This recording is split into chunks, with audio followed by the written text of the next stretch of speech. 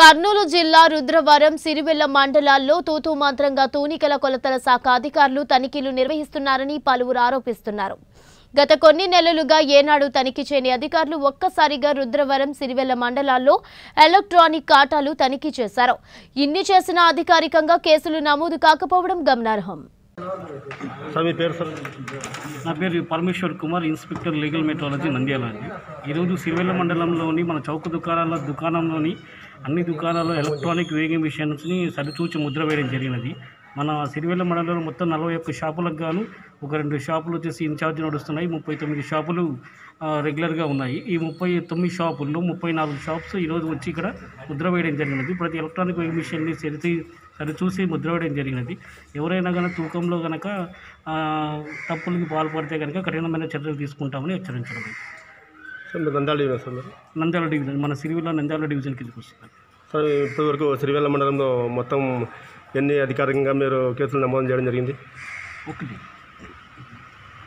మీకు అన్ని రికార్డు కావాలంటే ఆఫీస్ ఒకటి మండలం ఒక నిమిషం ఒక నిమిషం ఆల్రెడీ చేశాను. అదే చెప్పండి ఒకటి రెండు ఏమైనా చేయడం జరిగిందా? అధికారి పరంగా ఏమైనా కేసులు రికార్డు పరంగా ఏమైనా కేసులు నమోదు చేయడం జరిగిందా? లేదా?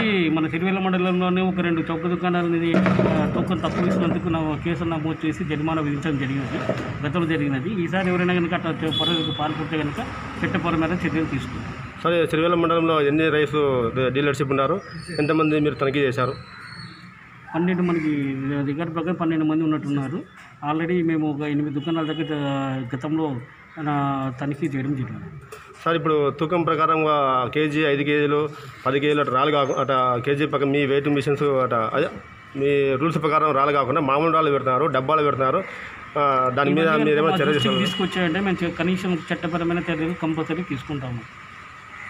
మీరు ఎక్కడ చూపించేయండి. ఆల్రెడీ మాకు మా మా మా దృష్టికి తీసుకొస్తే కనుక మా దృష్టిలో ఉంటేనే మేము కఠినమైన చర్యలు తీసుకుంటాము.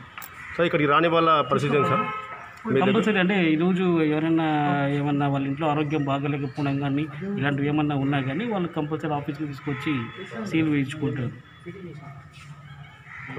Thank you sir.